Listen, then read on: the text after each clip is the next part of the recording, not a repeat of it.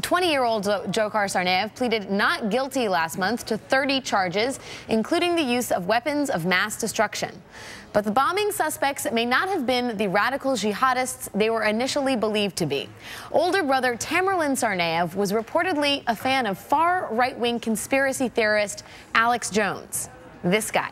Hey, listen, I'm here to warn people. You keep telling me to shut up. This isn't a game.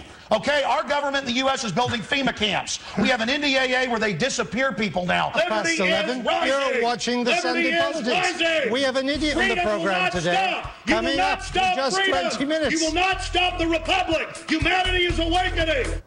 To date, Alex Jones' YouTube channel has over 300 million views. According to the Wall Street Journal, Tsarnaev also read white supremacist publications, including The First Freedom, an Alabama-based newspaper that espouses equal rights for whites.